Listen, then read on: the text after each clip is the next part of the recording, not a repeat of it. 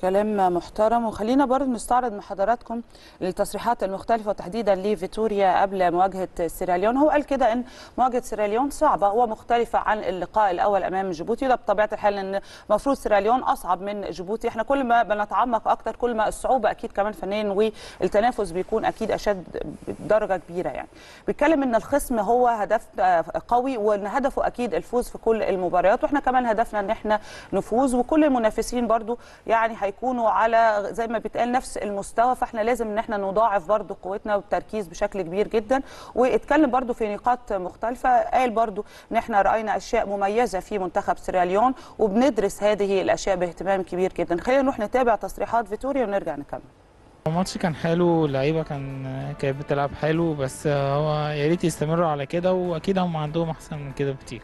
أنا شخصيا ما كنتش متوقع النتيجة دي.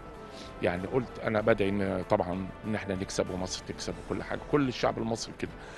ولكن النتيجة الكبيرة دي أنا شخصيا ما كنتش متوقع. النتيجة طبعا مطمئنة جدا 6-0 المفروض كنا نجيب أكتر من كده ضيعنا أكتر من 6 زيهم.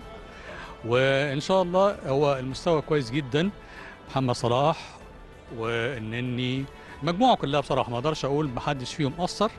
آه واخص بالذكر المدرب ممتاز مدرب الخطة بتاعته هجومية بحتة ودي ما شفناش في أي واحد تاني قبل كده. بصراحة الأداء اتحسن كتير قوي قوي فعلا الفترة اللي فاتت والنتيجة مبشرة يعني إن شاء الله ده يخلينا إن إحنا بقى يعني في 2026 نبقى موجودين بإذن الله. صحيح الفرقه سهلة وبسيطة ومش قد مستوى مصر ولا التاريخ الحضاري للمنتخب المصري. ده يدينا فرصة إن إحنا نجرب خطط تانية ولاعيبة تانية.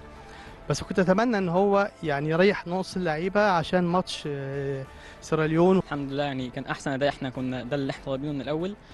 ويا رب الأداء يكون كده برضو قدام سيراليون الماتش اللي جاي.